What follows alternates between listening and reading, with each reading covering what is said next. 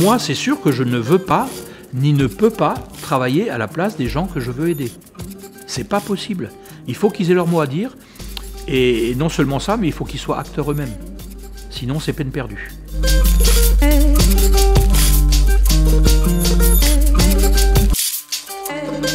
Nous avons décidé de nourrir les gens qui en avaient besoin. Et nous avons décidé aussi de les aider à revenir à une vie normale, dans la mesure de leurs possibilités et de nos moyens.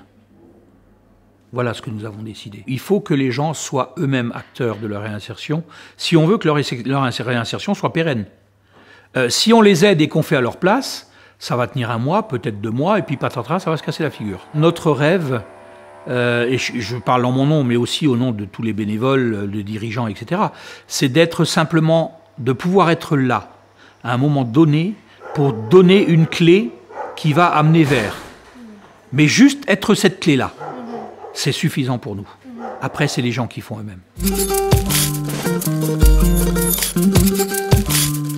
Le repas est un accessoire. On reçoit des gens, ils prennent le temps de se poser, de manger tranquillement. Nous, on va prendre le temps de discuter avec eux pour essayer de savoir un peu ce qu'ils ont dans le ventre, ce qu'on peut faire pour les aider et de les pousser à sortir de, leur situation. C'est ça mon rêve. L'accessoire, c'est le repas. Mais ce n'est qu'un accessoire. Même si aujourd'hui, c'est l'arbre qui cache la forêt. Mais ça n'est qu'un accessoire. C'est ce sur quoi on va s'appuyer pour aller plus loin avec les personnes et leur donner plus de bonheur. Au-delà des repas, on reçoit les gens, euh, on prend le temps. Bon, il y a, d'abord ce premier contact à la table, à la salle à manger. Euh, mais ensuite, on essaye d'aller plus loin avec eux, c'est-à-dire de les recevoir dans un, bureau, dans un endroit un peu plus discret, de discuter avec eux, de savoir quelles sont leurs attentes. Surtout quelles sont leurs attentes. Parce que c'est ça qui est important. C'est pas de les mener là où nous on a envie, c'est de les mener là où eux ont envie d'aller d'essayer de faire le point avec eux, d'essayer de, faire avancer leur dossier, euh, qui, qui, pour le dossier de, demande d'asile, qui pour ceci, qui pour cela, d'essayer de les aider à faire avancer leur dossier et de les faire avancer en même temps. C'est ça le but principal. La fréquentation de la cantine est exponentielle. Ça veut dire qu'elle ne cesse d'augmenter. Euh, pour vous dire, en deux ans, on a augmenté, deux ou trois ans, on a augmenté de 40% notre effectif pour servir en 2017 100 000 repas. Il y a euh, deux un salarié pardon, en CDI et huit salariés en contrat d'insertion. Ça veut dire pour nous que ce ne sont pas des contrats euh, à moindre coût, ça veut dire que ce sont des personnes qu'on doit réinsérer. On se doit de le faire. Euh, donc avec un certain succès. Je ne sais pas quelles sont les statistiques actuelles, puisqu'il y a trois ans que je suis à la retraite maintenant, mais ce qui ne m'empêche pas de continuer à venir ici. À l'époque, quand j'ai quitté la cantine, il y avait environ trois personnes sur quatre qui quittaient la cantine en étant réinsérés.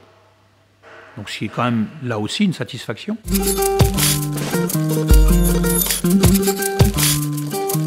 Ça fait 35 ans que la cantine existe. Chaque année, la ville de Chambéry a été au rendez-vous. Chaque année, le département a été au rendez-vous. Chaque année, l'État a été au rendez-vous. Depuis, on va dire, depuis une vingtaine d'années, la région Rhône-Alpes est au rendez-vous. Enfin, Auvergne-Rhône-Alpes maintenant, pardon. Elle est au rendez-vous. C'est un réel service, mais il y a un réel soutien des, municipaux, enfin, des municipaux, pardon, des politiques, qu'elles soient municipales, qu'elles soient départementales, qu'elles soient régionales ou nationales. Et ça, c'est un plus. Il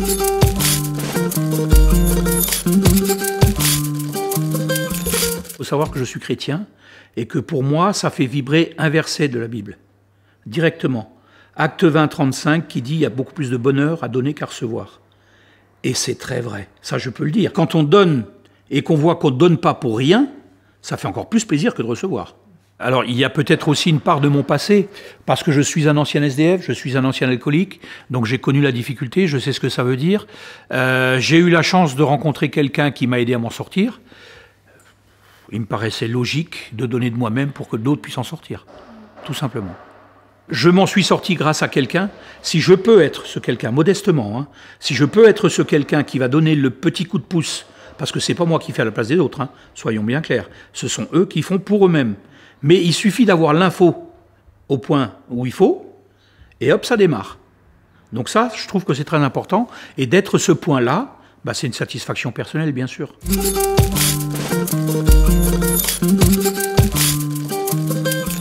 Je dois dire que j'ai commencé dans le, entre guillemets, le social, dans un centre d'hébergement d'urgence. C'est vrai qu'il n'y avait pas très longtemps que j'étais sorti de l'alcoolisme et que quelqu'un me fasse confiance, quelque part, ça m'interpellait. Mais quelque part aussi, euh, une personne en difficulté qui arrivait pour se faire héberger, qui était en, état d'alcoolique, en état alcoolisé, on va dire plutôt, ne rentrait pas dans la structure. Et si par malheur pour elle, elle avait réussi à y rentrer pendant que j'avais le dos tourné, je la sortais manu militari. Euh, et ça, ça ne me satisfaisait pas et ça me posait beaucoup de questions. Notamment, ça me renvoyait cette question, et si toi, tu étais dans cet état-là, et si on t'avait pas tendu la main, qu'est-ce que tu, serais devenu? Et ça, c'est forcément une motivation supplémentaire.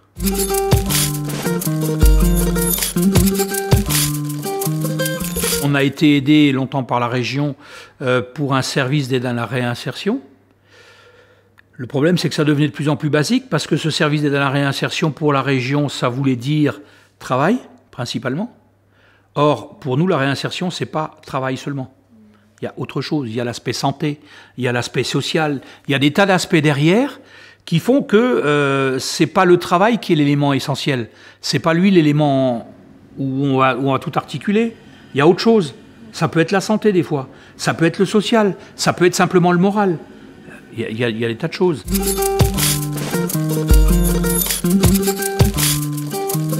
Le problème, c'est que chacun a un petit peu sa case de financement.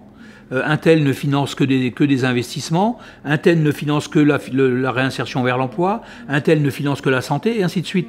Moi, ce que je rêve, c'est d'un pot commun, où on voit quels sont les gens qui, effectivement, font du travail. Non pas ceux qui le font qu'en apparence, ceux qui vont au fond des choses, qui travaillent au fond des choses, et qui essayent de, faire sortir les gens de là-dedans. Euh, s'il y avait un pot commun pour ça, où on n'est plus à se creuser la tête, attends, moi il faut que je travaille là pour avoir tel financement, il faut que je fasse ça pour avoir tel financement, c'est se marcher sur, sur la queue, quoi. On n'en sort pas de ça. Et le problème, c'est que tant qu'on n'en sortira pas, on ne sera pas efficace. Enfin, on est efficace, je veux dire, mais on ne sera pas aussi efficace qu'on devrait l'être. Ce pourquoi je me bats depuis des années, c'est pour que d'autres structures se créent en France. Mais pour ça, il faut une volonté politique, il faut une volonté associative, et réunir les deux, c'est pas simple. Le fait de, vouloir fédérer un peu toutes les associations qui recevaient les personnes sans domicile, euh, pour une grande réflexion, pour voir qu'est-ce qu'on pouvait améliorer dans le bassin chambérien pour une meilleure prise en compte du public sans domicile. Alors je précise quand même que euh, cette réflexion suit le décès ici à Chambéry de deux, SDF morts de faim. Je précise bien de faim, non pas de froid. Et c'est en fait euh, ces deux décès qui ont posé question et qui ont amené la réflexion à euh, qu'est-ce qu'on peut faire pour que ça ne se renouvelle pas, en tout cas à Chambéry.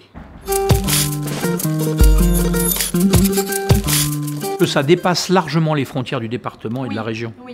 Que ça, ça aille bien plus loin et qui est une grande réflexion, non pas venant d'en haut encore des politiques, mais du, de la base au niveau national, pour que les choses puissent enfin remonter. J'augmenterai pas le personnel, parce que je crois qu'à partir du moment où il y a cette motivation de, de vouloir aider les gens à se réinsérer eux-mêmes, euh, c'est vraiment quelque chose de précieux, il faut qu'on le garde.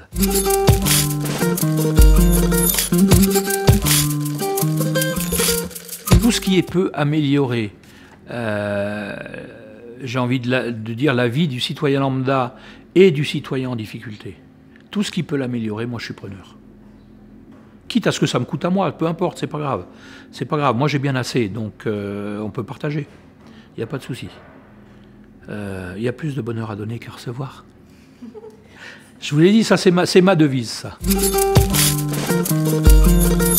J'ai besoin déjà de réunir les, de, réunir nos propres idées à nous, euh, associatifs, pour ensuite euh, toucher les politiques, faire front commun pour toucher les politiques. Il y a eu, on a eu un exemple à un moment donné, vers les années 85 de mémoire, où on a réuni tous, nos, tous, les partenaires qui, avaient envie euh, d'avancer par rapport à ça, et où on a amené finalement des, des 49 propositions qui ont amené la création d'un schéma départemental en Savoie. Mais tout ça, ça part des réflexions, des réflexions de la base, non pas des institutionnels, non pas des politiques, non pas des responsables, mais de la base, du travailleur lambda, qui sait de quoi il parle. Les idées sont remontées progressivement, et puis un grand jour, on a fait une grande messe à la préfecture, en présence du préfet et des différents politiques, et on a, on jeté sur la table toutes nos propositions. Et tout a été saisi, et de là était né un schéma départemental. Incroyable comme quoi ça peut se faire. Parce que vous savez, moi je peux travailler euh, à la cantine savoyarde en étant euh, salarié lambda. Si je veux faire remonter les choses à mon président, je peux les faire remonter. Mais est-ce que lui va les capter correctement? Est-ce que lui va les retransmettre après correctement? C'est pour ça que je parle, moi, de, travail de la base. Parce que de toute façon, qu'on le veuille ou pas, c'est de la base que ça sort. C'est pas d'en haut. Hein. Ça tombe pas des nuages. Ça sort d'en bas. Si on veut travailler à la place des autres, on va droit dans le mur. Ou on les fout droit dans le mur. Ou droit au cimetière. Le principal, c'est aider, mais pas faire à la place des autres.